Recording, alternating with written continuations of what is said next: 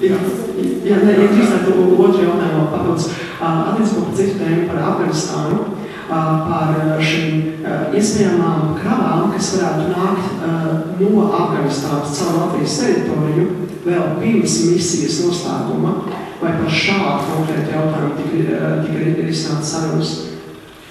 Jā, tiešām bija vairāk stundu garumā tikšanās ar Ziemeļu distribūcijas ceļa, ceļā iesaistīto valstu vēstniekiem un arī veselu virkni kompānijas, kuras nodarbojas ar ASV preču piegādi kontinentam Afganistānā.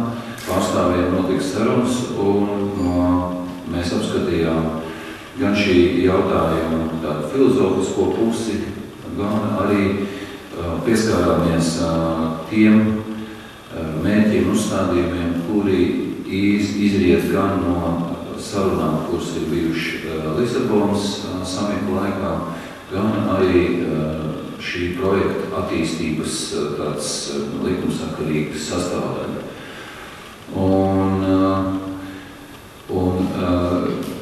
Šeit ir vēl vesela virkni pasākumi, ir nepieciešami sarunas gan NATO augstāko amatpersonu, gan arī atsevišķu šeit, šajā projektā iesaistīto un inicēto pušu starpā, jo ir arī ne tikai, jāsaka, organizatoriski, bet arī varbūt atsevišķi politiski šķēršļi, kas vienā vai otrā no valstīm ir jārisina.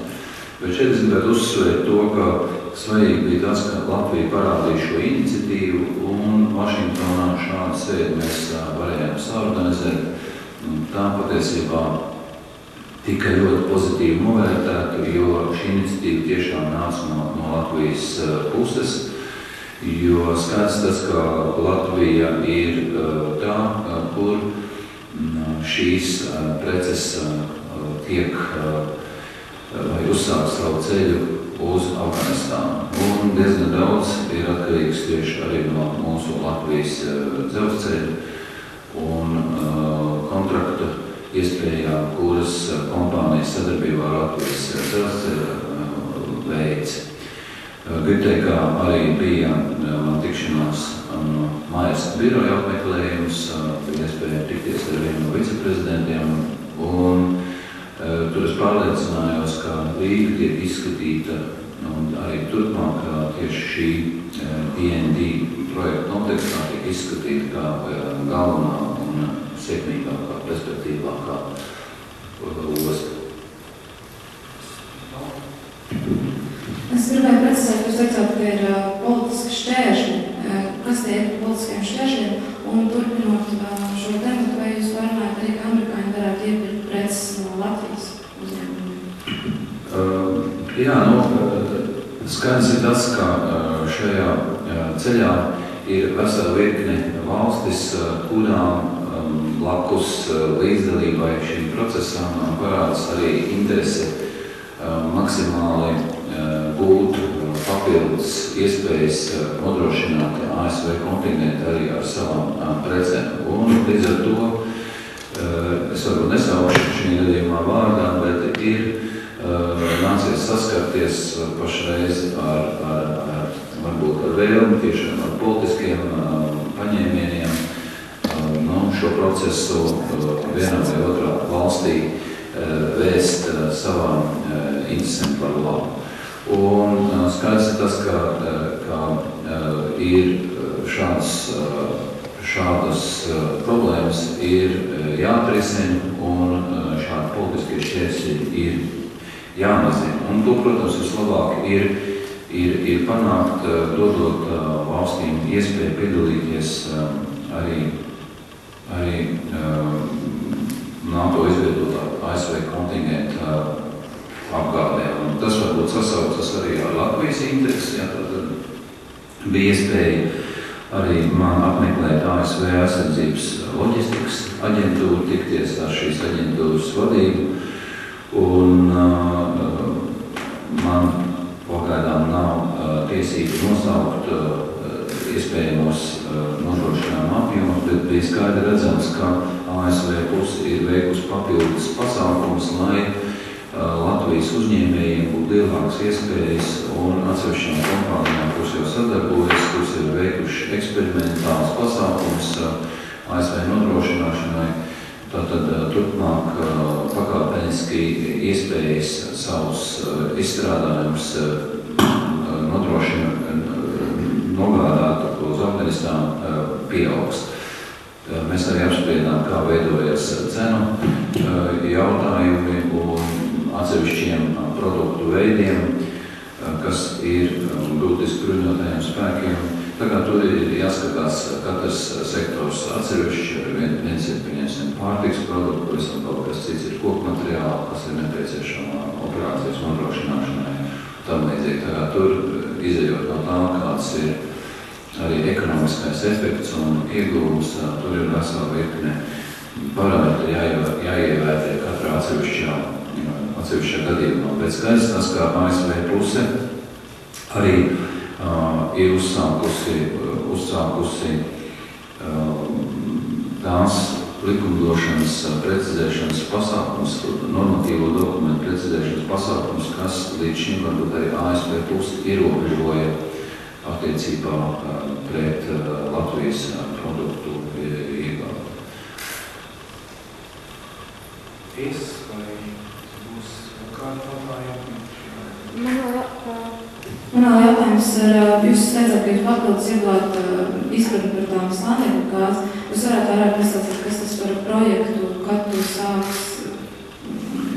Nu, tātad līdz šim, mm, varētu teikt, tādā augstā politiskā līmenī Latvijas pusē nebija par šo slānekļu gāzi vai tā iegūtas pieredze Amerikas Savienotās valstīs nebija notikusi, bija tādi varbūt ASV pieredzes pētījumi vai atsevišķas sarunas speciālistu līmenī notikušas, ņemot vērā to, ka, ka mans vizītes laikā ASV administrācija valsts departaments bija pieaicinājis veselu virkni vadošos speciālistus, var uzskatīt, ka mēs aizsākām tieši saruna par to, kā ASV puse varētu piedalīties Latvijas zem Latvijas valsts izvietotā slānekļa izpētē. ASV pusē ir pietiekami daudz informācijas par šīm iegulām, kas ir izvietotas pasaulē. Un šeit, jāsaka, Latvijai ir diezgan, diezgan perspektīva perspektīvi nu, iepriekšējās izpētes rezultāti. Latvijas puse ir arī uzsākuši šo izpēti, nu, jāsaka, mantojot atsevišķus, atsevišķus ģeoloģiskos datus, kurus ir savu laiku veikusi Padomu Savienība. Bet tā vai citādi skaidrs ir tas, ka Latvijas pusē vienai nav par spēkam tikt ar šo jautājumu galā un ir nepieciešams strateģisks partners. Ņemot vērā to, ka ASV ir vissekmīgāk ar šo jautājumu darbojusies pasaulē un jau varētu teikt, ka ir rezultāti ar vērām ņemam ietekmi uz ASV enerģētikas sektoru, tad ASV plus ir tas piemērotākais mūsu, mūsu sarunu partners. Es domāju, ka uh, mans vizītes rezultātā izdevās, izdevās panākt tādu sapratni, ka ir nepieciešams izstrādāt uh, kopējas sadarbības uh, pasākumu plānu, uh, kuru iespējams tuvāko mēnešu laikā mēs varētu sagatavot tik tālāk, tālāko Latvijas augstāko amatpersonu vizīšu laikā. Es nedomāju, ka tuvāk, kad būs valsts prezidents, bet tālāko vizīšu laikā pakāpeniski varētu veikt nu, tātad, šīs sadarbības programmas precizēšanu vai institucionalizēšanu. Kur tās iegulas atrodas? Nu, jāveic ir papildus pasākumi, bet tātad tie materiāli, kas mums prezentācijā tika parādīti, liecina to, ka slāneklis atrodas patiesībā turpat vai zem visas Latvijas eh, teritorijas. Un, un, eh, un, eh, ja tie slānekļa tehniskie dati atbildīs pēc padziļināts izpētnes no, sekmīgas gāzes iegūs parametriem, tad es domāju, mm, kaut kādā tālākā nākotnē mēs varētu rēķināties ar, ar papildus Latvijas energo neatkarības veida manis